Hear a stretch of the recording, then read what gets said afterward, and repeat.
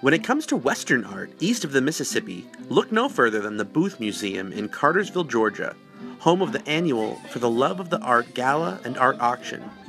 Western Art Collector was a special guest at this year's annual show, held February 25th at the Booth, the sprawling home of thousands of pieces of historic and contemporary Western art.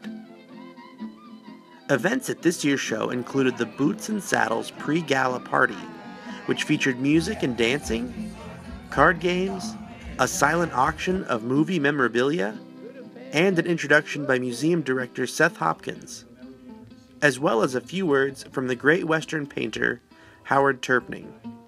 They've done a magnificent job hanging this exhibit. It's uh, it's a beautiful, beautiful job that they've done. They've worked hard for a long time, and it's truly an honor to be here in this museum.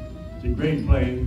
Seth is one of a kind. Terpning, who had five decades worth of artwork hanging in a retrospective at the museum, was the guest of honor at many of the events, including a special discussion about movie posters. Guests had the pleasure of hearing Howard talk about some of his most famous posters, including Gone with the Wind, Sound of Music, Dr. Zhivago, Lawrence of Arabia, and Cleopatra. Western Art Collector was proud to participate in the discussion and share the stage with the Western art legend.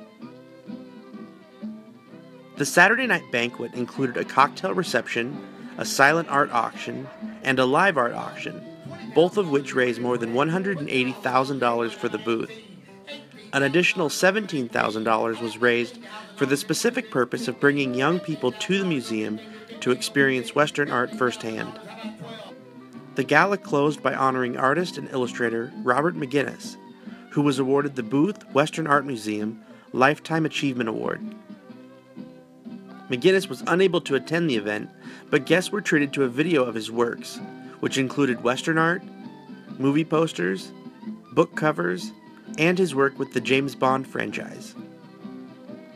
Next year's Lifetime Achievement Award will be given to sculptor and Renaissance man Ed Dwight. For more coverage of Western art shows all around the country, be sure to check out Western Art Collector at westernartcollector.com.